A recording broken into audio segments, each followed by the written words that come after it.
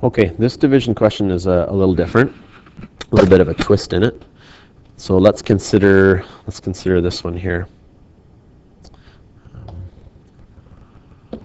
Four and fifty-six hundredths divided by eight tenths. Okay, so we can run through the, the typical questions that we have so far. Which one of these is our divisor?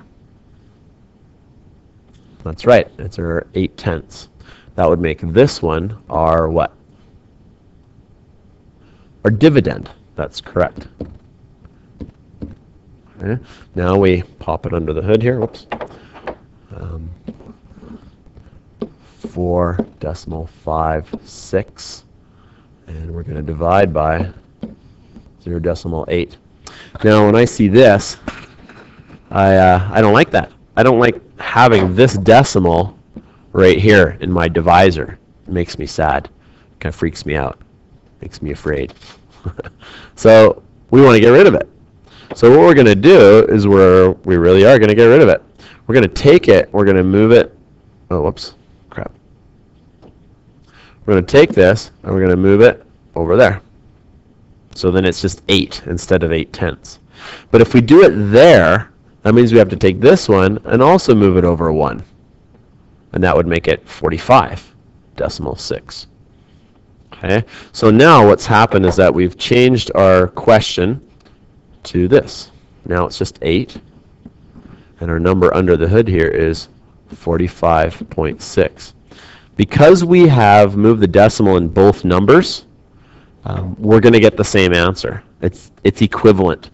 This question right here will give you the same answer as this question because we move the decimal in both numbers. So you'll get the exact, exact same answer. Okay? So let's do it. Okay, um, again, first thing we always do is we take our decimal, we move it up there so we don't forget about it. Now, does 8 go into 4? No, it does not. Again, put a 0 there if you'd like. Does 8 go into 45? It sure does. How many times does it go in? It goes uh, 5 times. 5 times 8 is 40. Do a subtraction.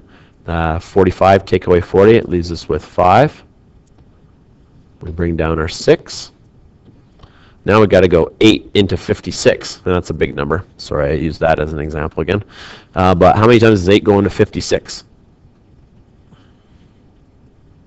You bet it goes 7 times. And 7 times 8 is exactly 56. When we subtract them, we get 0. And then we go, yay, we're done. So up here, back up here, um, 0 and 8 tenths goes into 4 and 56 hundredths, a little over five times, five and seven tenths of a time.